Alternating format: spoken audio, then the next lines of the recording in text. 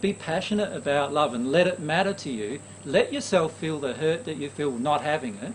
Release that. You'll receive more of divine love, and you'll realize in the end, in the connection with God, that you have this immense love that is channeled from God to you, and now you can express to others, and you will not need it from any other person. And once you get into that state, you are not in a needy state with any of your transactions with any other person. So what happens then? Now you can actually reflect the divine love that's flowing into you. You can reflect that through your natural love to everyone else, and straight away they see the difference in you. And then they can ask you, what, you know, what's going on? Why are you different all of a sudden?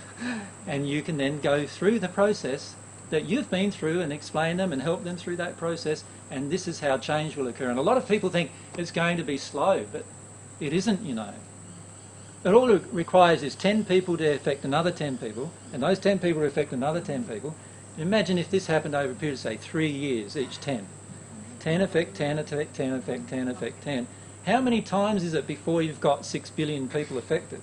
It's not very long. 12 years, 15 years, and 6 billion people are going to know all about this.